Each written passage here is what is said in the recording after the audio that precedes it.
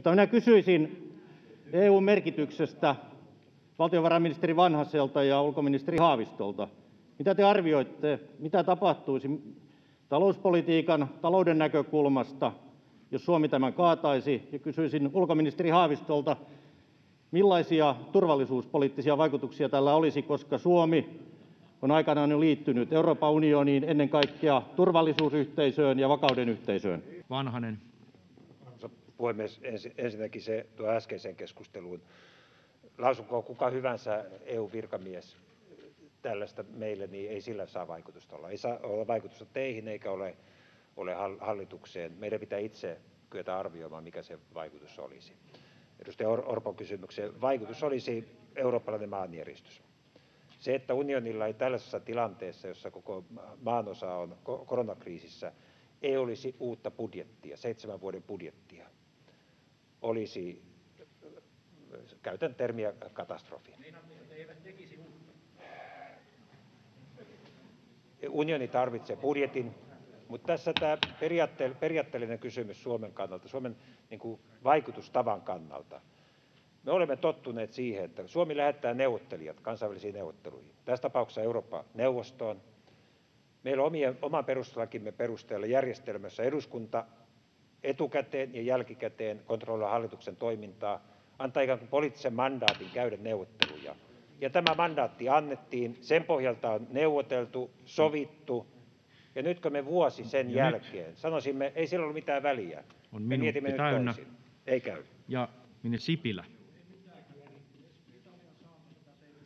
Arvoisa puhemies! Toisin kuin täällä jatkuvasti väitetään, niin tämä ei ole erillinen osa seitsemänvuotisesta rahoituskehyksestä. Se on kokonaisuus.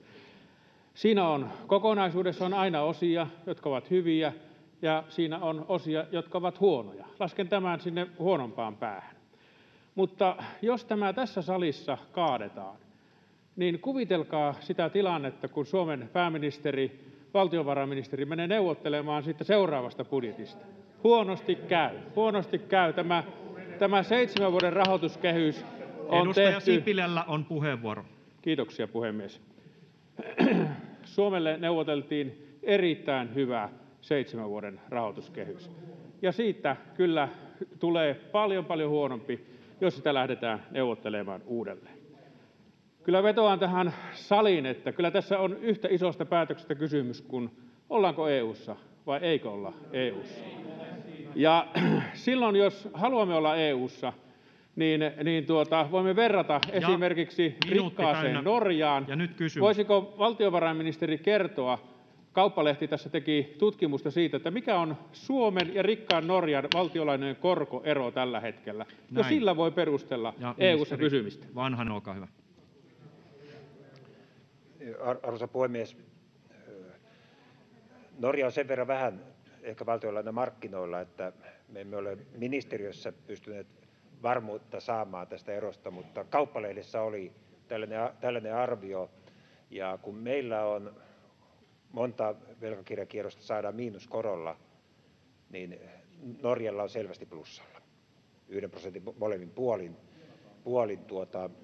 En pysty ministeriön puolesta varmistamaan, että näin on. Ja se kertoo tietysti siitä, että yhteisvaluuttaan osallistuva pieni maa, joka huolehtii omasta taloudestaan luotettavalla tavalla, niin se ainakin viime vuosien perusteella on hyötynyt valtavasti korossa tästä järjestelmästä. Ja taas ulkopuolinen maa, vaikka on eräs maailman rikkaimmista maista Norja, niin ei näemmä pysty samaan korkotasoon, jolla hyödyttää itseään. No niin, ja ministeri Vanhanen. Arvoisa puhemies! Tämä nettomaksu tämän paketin osalla liikkuu noin kolmen miljardin tasolla. Se maksetaan 37 vuoden päästä. Se saattaa vielä hieman vaihdella siitä, mikä meidän lopullinen saantimme on. Mutta tämä teidän kysymyksessä ollut arvio siitä, että tämä paketti tehtäisiin sen takia, että Etelä- ja Keski-Euroopassa olisi pankkeja, jotka muuten kaatuisivat. Minä en pysty allekirjoittamaan, että näin on, mutta jos se pitäisi paikkaansa, jos se pitäisi paikkaansa, niin ajatellaanko niin, että antaa pankkien mennä?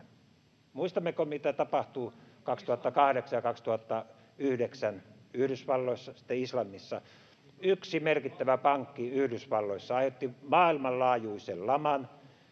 Meillä meni yli kahdeksan prosenttia kansantuotteesta sen seurauksena välittömästi. Meidän ei kannata manata sitä, että antaa vain pankkien kaatua Etelä-Euroopassa. Se aiheuttaisi valtavan katastrofin, paljon suuremman katastrofin kuin tällä hetkellä korona aiheuttaa.